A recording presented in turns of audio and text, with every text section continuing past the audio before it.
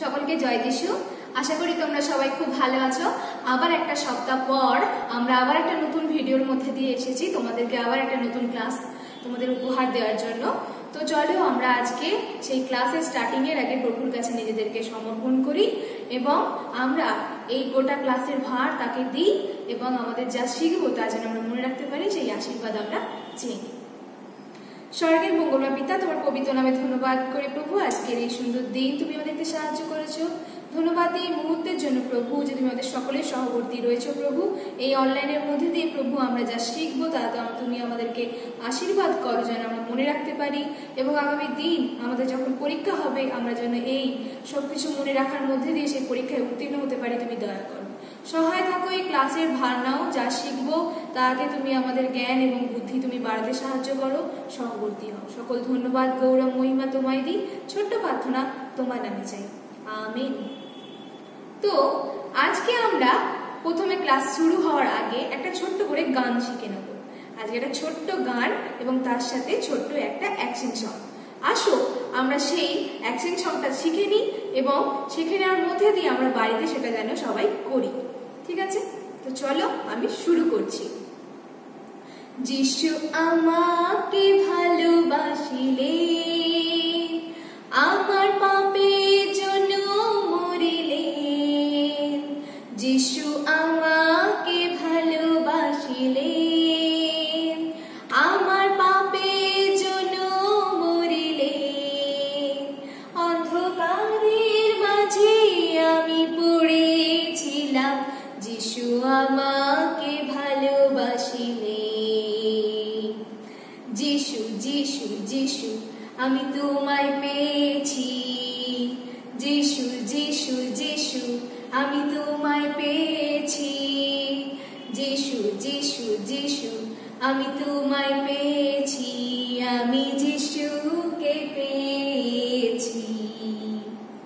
এই গানটা আমরা সবাই প্র্যাকটিস করব বাড়িতে এবং এটা আমরা তুলে নেব।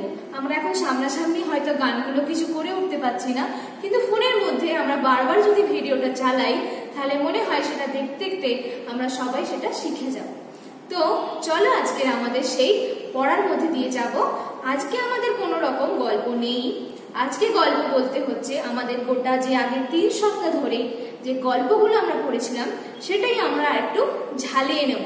ঝালিয়ে মানে হচ্ছে আমরা আরেকবার রিভাইজ করে নেব যে কি কি ঘটেছিল এবং কি কি হয়েছিল। তাহলে কি হবে? আমরা তো ছোট, তাই আমাদের আবার মনে পড়ে যাবে। তাই যখন দাদা দিদিরা আমাদের প্রশ্ন পাঠাবে, সেগুলোর উত্তর দিতে আমাদের কোনো অসুবিধা হবে না। তো চলো, আমি একদম প্রথম থেকে শুরু করছি। প্রভু যিশু জন্মের পর পর কি কি ঘটনাগুলো ঘটেছিল? প্রভু যিশু যখন বেতলেহেমে জন্মালো তখন আমরা কি শুনেছিলাম যে প্রভু যিশুকে দেখার জন্য তিনজন পণ্ডিতেরা একটি তারা দেখতে দেখতে প্রভু যিশুকে খোঁজার চেষ্টা করল যে সেই প্রভু যিশু মানে হচ্ছে সেই রাজা কোথায় জন্মেছেন? সেই রাজা কোথায় জন্মেছেন? তখন তারা অন্বেষণ করতে করতে হেরদ হেরদ মানে আমাদের বেতলেহেমে হেরদ নামে একজন রাজা ছিল, যে তখন ওই গোটা দেশটার শাসন করত।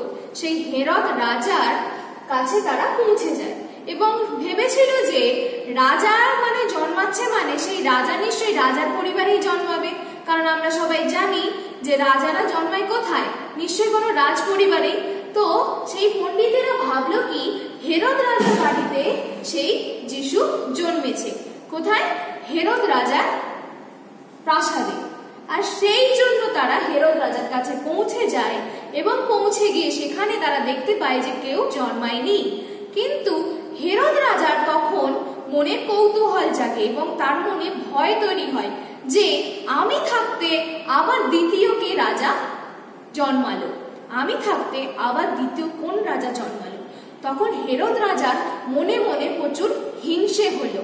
আর সেই পণ্ডিতদেরকে তাদের কাছে কিন্তু সেই হিংসে ভাবটা ফোটালো না। তাদেরকে বলল যে, ঠিক আছে, আমার রাজ্যে তো জন্মায়নি, কিন্তু হয়তো কোথাও জন্মেছে। আপনি, আপনারা যদি সেই যিশুর খোঁজ পান, তাহলে কি করবেন? আমাকেও জানাবেন, কারণ আমিও তাকে গিয়ে প্রণাম করে আসব। এই বলে হেরদ রাজা তাদেরকে পাঠিয়ে দেয়। তারপরে হেরদ রাজা এবার অন্বেষণ করতে থাকে, চারিদিকে খুঁজতে থাকে যে কে সে যে এই রাজ্যেতে তার পরিবর্তে আবার নতুন রাজা জন্মেছে। তখন খুঁজতে খুঁজতে তখন তারা যিশুর খোঁজ অলরেডি আগে থেকে পেয়ে গেছিল। তো এইভাবে রাজা খোঁজ চালু করে। কিন্তু তখন স্বর্গদূত জোসেফ মানে হচ্ছে প্রভু যিশুর বাবা, তার নাম কি ছিল? জোসেফ।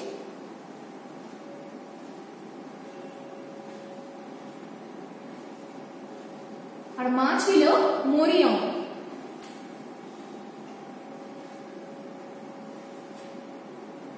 সেই মরিয়ম আর জোসেফকে স্বর্গদূতেরা বলে যে প্রভু যিশু এখন বিপদে রয়েছে, তাই সেই মুহূর্তের জন্য সে বেতলেহেম থেকে যেন মিশর দেশে চলে যায়। কোথায় চলে যায়? বেতলেহেম থেকে যেন মিশর দেশে চলে যায়।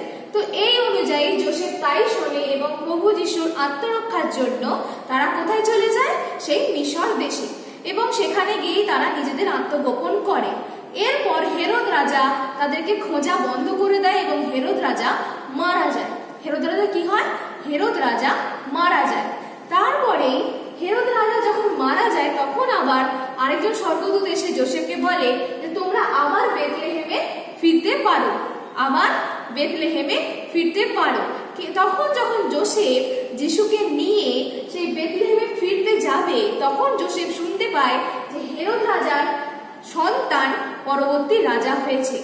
তার মানে যিশুর এখনও পর্যন্ত বিপদ কাটেনি। যিশুকে যে কোনো মুহূর্তে হেরদ রাজার পুত্র বা তার সেই রাজ্যের কেউ না কেউ মারতে পারে। তাই জোসেফ সেখানে না ফিরে জোসেফ চলে যায় গালিল নামক একটি প্রদেশে। কোথায় চলে যায়? গালিল নামক একটি প্রদেশে। আমি এখানে লিখছি, গালিল।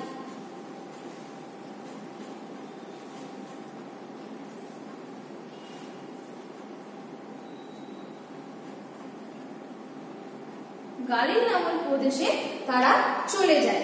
তো এই গালিল নামক দেশে যখন তারা চলে যায়, তখন সেইখানেতেই সেই তারা বসবাস শুরু করে দেয়। সেখানেই তারা বসবাস শুরু করতে থাকে। এইভাবে প্রভু ছোট্ট সেই যিশু ধীরে ধীরে বড় হয়ে ওঠে। সেই ছোট্ট যিশু ধীরে ধীরে বড় হয়ে ওঠে এবং ধীরে ধীরে যখন বড় হয়, যিশুর যখন বারো বছর বয়স হয়। কত বছর? বারো বছর। যিশুর যখন বারো বছর বয়স হয়, তখন সেই সময় তারা প্রত্যেক নিস্তার পর্বে, প্রত্যেকবার নিস্তার পর্বে মরিয়ম আর জোসেফ জিরুসালেমে আসত নিস্তার পর্ব পালন করার জন্য। আর সেই সময়ে যখন যিশুর বয়স বারো, যিশু তাদের সাথে সেই নিস্তার পর্ব পালন করার জন্য জিরুসালেমের মধ্যে আসে। এবং যখন সেখানে আসে, সেখানে যখন সেই নিস্তার পর্ব পালন হয়ে যায়, তখন মরিয়ম আর জোসেফ যিশুকে নিয়ে রওনা হয়। কিন্তু কথা বলতে বলতে তারা এই নিস্তার পর্ব গালিল প্রদেশ থেকে জিরুসালেমে আসার জন্য প্রায় দুদিনের মতো টাইম লেগে যেত। সেই সময় যখন তারা একদিনের রাস্তা পুরো পার করে আসে, তখন তাদের খোঁজ পড়ে যে প্রভু যিশুকে তারা আর খুঁজে পাচ্ছে না। ছোট্ট বালক যিশু মানে বারো বছর সেই যিশু, কোথায়? তখন মরিয়মে আর জোসেফের প্রচুর চিন্তা হয় এবং তারা হয়রান হয়ে ওঠে এবং তারা শেষে খুঁজতে খুঁজতে তাকে জিরুসালেমে এসে পৌঁছয় এবং জিরুসালেমে এসে তারা দেখছে যে, এই যে জিরুসালেমে এসেছে এবং জিরুসালেমে এসে দেখছে যে সেই ছোট্ট যিশু সেইখানকার ধর্মযাজকদের সাথে নানা রকম প্রশ্নের মধ্যে মেতে রয়েছে। নানা রকম প্রশ্ন করছে নানা রকম উত্তর শুনছে এবং সেখানকার লোকেরাও তাকে দেখে অবাক হয়ে যাচ্ছে যে এই বালকটি কে যার এত জ্ঞান, যেখানে এত বড় বড় যাজকেরা রয়েছে, কিন্তু সেইখানেতে যিশু এমন এমন উত্তর করছে, এমন এমন প্রশ্ন বলছে যে তারা পুরো অবাক হয়ে যাচ্ছে যে এত ছোট বাচ্চার এত জ্ঞান হলো কি করে। এইভাবে যিশু সেইখানে যখন পৌঁছয়, তখন মরিয়ম তাকে বলে ডেকে যে, তুমি কেন আমাদেরকে না বলে এখানে রয়েছো? তখন যিশু তাদেরকে একটি উত্তর করে যে, তোমরা কেন আমাকে খোঁজ করছ? তোমরা জানো না যে আমি পিতার গৃহেই তো থাকব। পিতার গৃহেই তো আমার সব। মানে হচ্ছে সেই এইখানে তো ঈশ্বর বসতি করতেন, সেই ঈশ্বরের গৃহেই তো যিশু থাকবে, কারণ যিশু কার পুত্র? ঈশ্বরের পুত্র। তাই এইভাবেই সে মরিয়মকে উত্তর দেয়। কিন্তু মরিয়মের মাথার এই উত্তরটা কিছুতেই সে অনুধাবন করতে পারছে না, কিছুতেই বুঝতে পারছে না যে যিশু এরম একটা কথা কেন বলল। তারপর এইভাবে যিশু সমস্ত জায়গায় বড় হতে লাগল এবং ধীরে ধীরে বড় হতে হতে হতে সমস্ত জায়গায় যতগুলো মানুষ ছিল সবার খুব প্রিয় হয়ে উঠতে লাগল। তারপরে আমরা দেখব সেই বারো বছরের পর আমরা দেখতে পাবো সেই যিশুর তিরিশ বছর বয়সে। যিশুর সেই তিরিশ বছর বয়সে, যখন যিশু আর একটু বড় হয়ে গেছে। ধীরে ধীরে বড় হতে হতে আমরা তার কখন খবর পাই? বারো বছর বয়সের পর থেকে যিশুর তিরিশ বছর বয়সে আমরা সেই দেখতে পাই যে যিশু সেই যোহন নামে বাপ্তাইজোর কাছ থেকে বাপতিস্ম নিতে এসেছে। যোহনের কার কাছে? যোহনের কাছে, যে যিশুর ছ মাস আগে জন্মেছিল। তাই তো? গল্পের একদম শুরুতে মনে আছে তো? যে যিশুর সেই ছ মাস আগে যোহন জন্মেছিল, কারণ আমি আগের দিনে গল্পে বলেছি, আজও বলে দিচ্ছি, কারণ ঈশ্বরের ইচ্ছে ছিল যে যোহনই তাকে বাপতিস্ম দিক। তাই জন্য যখন যোহন হচ্ছে বড় হলো এবং যিশু যখন বড় হলো, তখন যিশু গালিল প্রদেশ থেকে সেই যোহনের কাছে এলো এবং সেই জর্দন নামক নদীতে যোহন যিশুকে কি করল? বাপতিস্ম দিল। যাতে সেই বাপতিস্ম মানে হচ্ছে সেই জল দীক্ষা, যেখানে ঈশ্বরের পুত্র হিসেবে যিশু একেবারে গণ্য হলো, তখন সেই যিশুর আশীর্বাদ তো তিনি পেয়েছিলেন সর্বদূর থেকে কি হয়েছিল? পায়রায় নেমে এসেছিল এবং সেই পায়রার মধ্যে দিয়ে কি হয়েছিল? যিশু অনেক অনেক আশীর্বাদ পেয়েছিল। তো এইভাবে যিশু বড় হয় এবং যিশুর পুরো জন্ম থেকে তারপর সেই জেরুসালেমে তার সেই নানা রকম কাজ, তারপরে হচ্ছে বারো বছর বয়সে যিশুর এইসব প্রশ্ন, জ্ঞান, তারপর ধীরে ধীরে তিরিশ বছর বয়সে তিনি বড় হয়ে যমুনের কাছ থেকে বাপতিস্ম নেওয়া, এইভাবে নানা ঘটনার মধ্যে দিয়ে, নানা ঘটনার মধ্যে দিয়ে যখন তারপর তাকে বাপতিস্ম দেয় এবং যিশু এইভাবেই বড় হয়। আমরা এই আজকের পুরো জিনিসটার মধ্যে দিয়ে আমি আশা করি তোমাদের বোঝাতে পারলাম। যে যিশু কীভাবে ছোট থেকে বড় হলো এবং সেই বড় হতে হতে তারপর যখন তিনি, যখন প্রভু ঈশ্বরের কাজের জন্য মানে নানা রকম যে তার কাজ, তার সঙ্গে যে নানা রকমের যে বিবরণগুলো আমরা শুনলাম শুনেছি এবং আরও হয়তো শুনব যে যিশু কি কি কাজ করেছিলেন, সেই কাজের জন্য যখন যিশু বাপতিস্ম নিল এবং যখন ঈশ্বরের কাছে আবার ঈশ্বরের সন্তান রূপে গণ্য হলো, সবটা যখন ঈশ্বরের আশীর্বাদ স্বরূপ হলো, সেইগুলো সব পরপর ঘটনাগুলো তোমাদেরকে বললাম। আশা করি তোমরা সবাই বুঝতে পেরেছ।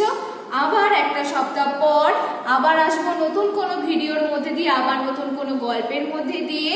ততক্ষণ পর্যন্ত এইগুলো তোমরা মনে রাখবে যে যিশু কীভাবে জন্মেছিল, তারপর বারো বছর হয় তার কি কি ঘটনা ঘটেছিল, তারপর তিরিশ বছর বয়সে তার কি হয়েছিল এবং ঈশ্বরের কি কি পরিকল্পনা যিশুর উপর দিয়ে হয়েছে তা আমরা সবাই দেখলাম। আর এগুলো আমরা মনে রাখব। আর অনলাইনের মধ্যে দিয়ে যখন দিদিরা আমাদের এই ভিডিওগুলো তোমাদের দেবে, তখন সেই ভিডিওগুলো ভালো করে দেখবে এবং তার উত্তরগুলো সুন্দর করে লিখে তোমরা পাঠাবে। ততক্ষণের জন্য তোমরা বাড়িতে থাকো, ভালো থাকো, সুস্থ থাকো। আবার একটা সপ্তাহ পর তোমাদের সাথে আবার দেখা হবে নতুন কোনো ভিডিওর মধ্যে দিয়ে। ততক্ষণ পর্যন্ত ঘরে থাকবে, বাবা মার কথা শুনবে, আর স্যানিটাইজার অবশ্যই করবে, কিন্তু বেশি স্যানিটাইজার ইউজ করবে না।